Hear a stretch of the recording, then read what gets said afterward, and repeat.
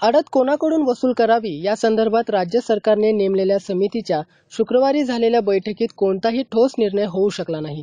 दरम्यान सर्व घटकांची बाजू ऐकून घेतल्यानंतर येत्या महिन्याभरात शिफारसींचा अहवाल राज्य सरकारकडे सादर करण्यात येणार असल्याची माहिती प्रभारी पणन संचालक डॉक्टर किशोर तोष्णीवाल यांनी दिली आहे. आडतीचे दर आणि ती कोणाकडून वसूल करावी? बाजार आवारातील फळे आणि भाज्यापाल्याचे विनिमयन हमालांचे प्रश्न आदी प्रश्नांवर विचार करून सरकारला शिफारसी करण्यासाठी सहकार मंत्र्यांनी पणन संचालक यांच्या अध्यक्षतेखाली समिती स्थापन केली होती. या समितीची शुक्रवारी अखेरची बैठक पार पडली. या बैठकीला व्यापारी शेतकरी कामगार आयुक्त पणन खात्याचे अधिकारी आणि शेतकरी संघटनेचे प्रतिनिधी उपस्थित होते. या बैठकीत अडत शेतकऱ्यांकडून वसूल करण्यास शेतकरी संघटनांच्या प्रतिनिधींनी विरोध केला.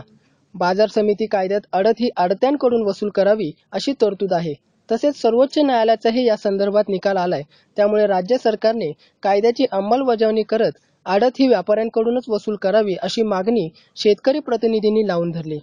तसेच बाजार आवाराबाहेर शेतकऱ्यांना थेट ग्राहकांना माल विकण्यास परवानगी द्यावी त्यासाठी परवाना घेण्याची अट रद्द करावी अशी मागणी शेतकरी संघटनांच्या प्रतिनिधींनी लावून धरली.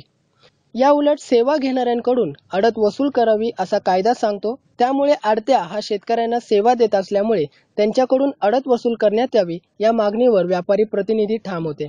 या मुद्द्यावरून दोन्ही बाजूंच्या प्रतिनिधींमध्ये जोरदार वादविवादही झाले. त्यामुळे या बैठकीत कोणताही ठोस निर्णय होऊ शकला नाही. अडत प्रश्नांवर गठीत केलेल्या समितीच्या शेवटच्या बैठकीतही कोणताही निर्णय न झाल्यामुळे अडत प्रश्न अजूनही टांगतीवर पडलाय एवढं मात्र नक्की.